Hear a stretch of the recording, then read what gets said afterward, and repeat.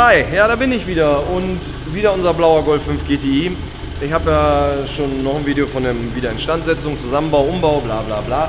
Heute geht es um das Thema Ladeluftkühler wieder mal. In dem guten seht ihr schon, ist einer drin, der ist auch ein bisschen gebraucht. Läuft aber wie eine 1, funktioniert super, kühlt wie Bolle, ist ein Double Dean von HF Series. Ähm, da, der wird jetzt gleich weichen im anderen. Auch wieder von HF Series. Wir wollen nämlich noch einen i-Punkt draufsetzen. Wir wollen gucken, ob man das Ganze das Gute nochmal verbessern kann. Wie gesagt, den i-Punkt draufsetzen, weil wir haben jetzt einen, der ist von der Bauform her recht ähnlich. Es ist nur die Kühlrippen sind ein bisschen schmaler, dass wir da gut vier Reihen mehr Kühlrippen haben, dass wir einfach noch ein bisschen mehr Ladeluftvolumen und ein bisschen mehr Kühlfläche in dem Sinne erreichen. Und das wollen wir jetzt einfach mal vergleichen. Das heißt, wir werden jetzt eine Eingangsmessung nochmal machen was er jetzt gerade heute aktuell an Leistung hat. Dann werden wir die Ansaugtemperatur mitloggen, vergleichen zu unserer aktuellen Umgebungstemperatur. Wir liegen hier gerade so um die 13 Grad. Gucken halt, was er jetzt gleich an Ansaugtemperatur bzw. Ladelufttemperatur hat. Da gab es schon mal eine Diskussion in einem anderen Video, äh, das heißt Ladelufttemperatur. Man spricht hier von einer Umgebungstemperatur und die Ladelufttemperatur spricht man von Ansaugtemperatur regulär. So sind auch die Messwertblöcke im äh, in einem Tester hinterlegt. Also wie gesagt, wir reden von der Ladelufttemperatur, die nachher in den Motor reinkommt, die nach dem Ladeluftkühler ist.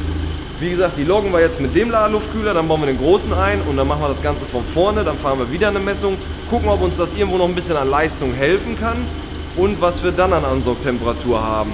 Persönliche Meinung vorab, ich glaube nicht, dass wir hier effektiv viel mehr Leistung erreichen, weil der jetzt drin ist einfach schon super funktioniert. Jedoch denke ich, dass wir hier noch vielleicht ein ganz paar Grad äh, kühlere Ladeluft bzw. Ansaugtemperatur erreichen. Aber ich kann mir noch nicht vorstellen, dass das so ins Gewicht fällt, dass das noch viel ausmacht, weil wir einfach schon optimale Bedingungen haben. Aber wollen mal gucken, einfach noch mal einen i-Punkt draufsetzen. Wenn uns das ein bisschen was bringt, immer her damit, weil der fährt auch viel auf der Rennstrecke, kann der gebrauchen. Und wir testen das ja für euch, um euch das nachher anbieten zu können. Wir wollen ja selber das Produkt erstmal testen. Ich will ja nicht irgendwas einfach verkaufen und sagen, hier ist toll, nimmer dann kann ich sagen, ich habe das selber gefahren, ich habe gemacht, getan, getestet. Das ist der Hintergrund. Jetzt habe ich schon wieder so viel gelabert. Gefahren. Messung. Messung.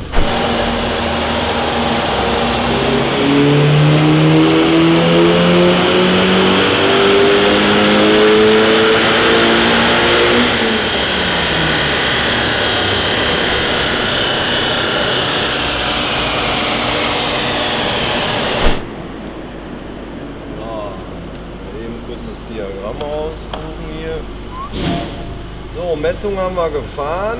Ich hole mal kurz jetzt gerade die letzte, wo ihr gesehen habt. Wir haben äh, eine Umgebungstemperatur, haben wir gerade gesehen, so zwischen 13 und 14 Grad wankt das gerade nach dem Thermometer.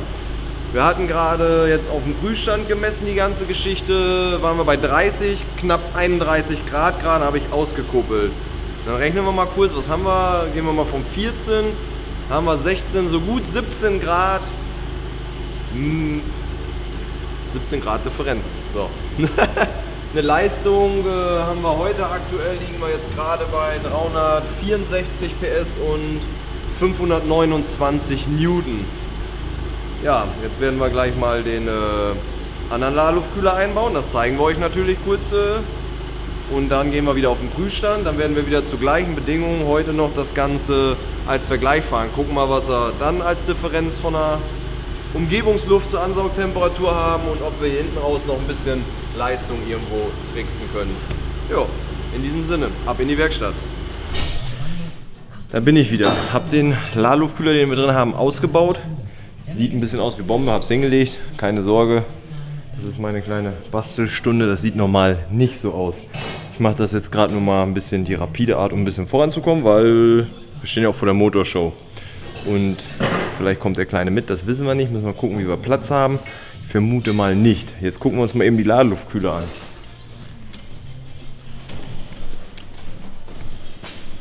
Von der Grundgröße oder Fläche her sind die gleich groß. Weil viel größer geht es nicht. Aber was ihr schon auf den ersten Blick sieht, sieht, seht. Mhm, genau.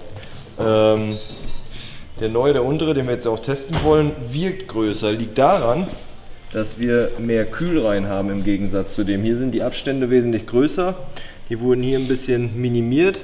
Hier ist noch ein anderes äh, Kühlnetz auch drin, weil Ladungskühler gucken alle von außen und denken immer Größe. Das ist ja auch nicht alles. Einmal die Bauform vom Grundkasten und es kommt auch noch immer auf das Netz im Ladeluftkühler an. Hier haben wir noch ein neueres, besseres Netz und wir haben, wenn ich jetzt gerade nicht erzählt habe, vier Kühlreihen mehr. Also es ist ja auch einiges an äh, Luft, was wir da mehr zum Kühlen reinkriegen. Bin mal gespannt. Ich werde das Ganze jetzt gleich äh, zusammenbauen. Äh, die Clipsanschlüsse original werden wegfallen. Wir werden eine neue Verrohrung auch machen. Auch die ist da ganz interessant, weil die ein bisschen optimierter ist im Gegensatz zu dem, was mit den originalen Clipsanschlüssen dort der Fall ist. Ja, das Ganze werde ich mal wieder zusammenbauen und dann werden wir uns auf dem Prüfstand wiedersehen, weil Robert, du musst jetzt gleich weg, noch woanders ein bisschen was filmen. Ja. Bis gleich. Bis gleich. Tschüss. Ja, sind jetzt auf dem Leistungsprüfstand, gerade angegurtet. Wir hatten gestern auch so 13, 14 Grad. Haben wir jetzt aktuell auch wieder, gleiche Bedingungen. Auto habe ich gerade schon warm laufen lassen. Öltemperatur sowie Kühlwasser, Kühlwasser 90. Öl hatte ich gestern auch bei, ich weiß gar nicht, 90, knapp über 90. Ich habe ihn gerade warm laufen lassen, geguckt. Wir haben auf jeden Fall aktuell die gleichen Bedingungen. Ja, ich werde jetzt mal eben mich verkabeln kurz, damit wir wieder die ähm, Ansaug- bzw. Ladelufttemperatur mitloggen können. Da waren wir gestern so um die 30, 31 Grad, das schon verdammt gut ist. Mal gucken, ob das gute Stück jetzt noch ein bisschen mehr kann und was dabei rauskommt.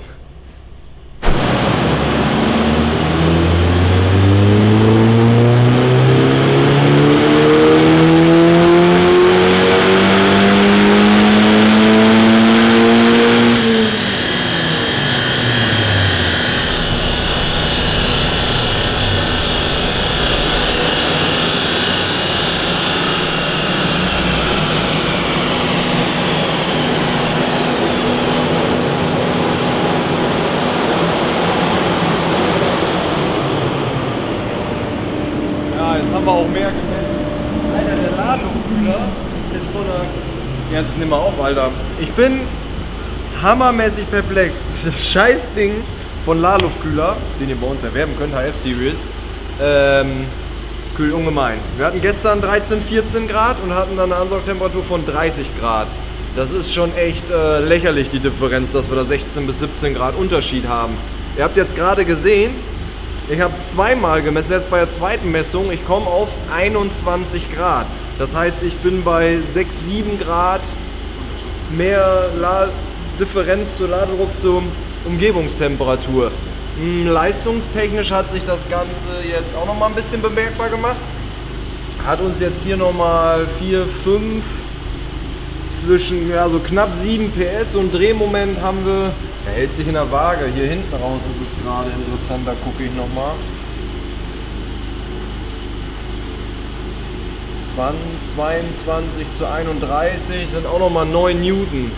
Also das ist jetzt nicht besonders viel an Leistung, aber die Kühlung einfach. Das heißt, ich habe meinen Sicherheitspuffer einfach mal erhöht. Ja, das ist genial.